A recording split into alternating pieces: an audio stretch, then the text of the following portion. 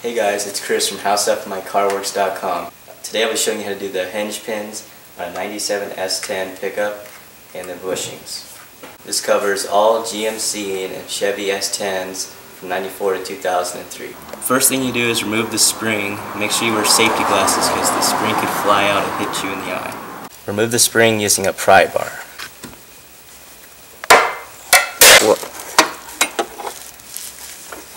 On this job, it's better to use a floor jack with a piece of wood. The piece of wood protects the bottom of the door from getting damaged. If you can have an assistant assist you by using the jack while you're removing the pins, it'll make your job a lot easier. You remove the clip that holds the pin with a small pry bar.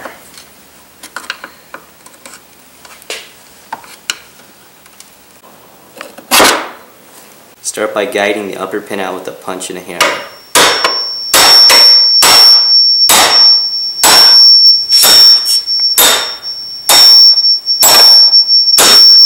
Keep pulling it out with the pry bar.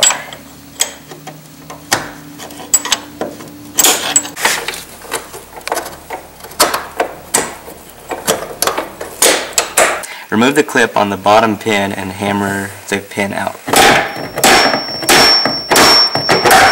Make sure your assistant's holding the door while you pull the pin out or your door could be on the floor. Slide the door off slightly and use a pry bar take out the worn bushing. Remove all the other bushings. Take note, the new bushings have one small one and one big one. The small one goes on the top and the best way to do it is to guide it with pliers to prevent damaging it. Put a socket underneath and finish driving the bushing in.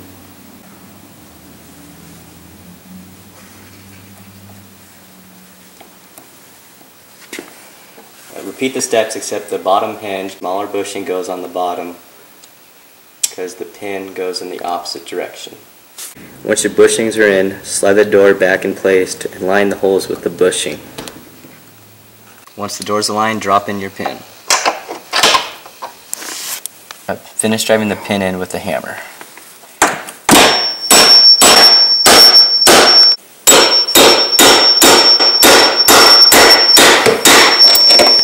Make sure you install your safety clips on your pins. To make putting the door spring on easier, put two pieces of baling wire on both ends of the spring and compress it with a vise. Once you're done compressing the spring, cut the access wire. Once you put your spring in and cut the wires, use needle nose pliers to remove them. Now you know how to change your hinge pins on the S10 and S15 pickups. Make sure you visit our websites and see you next time.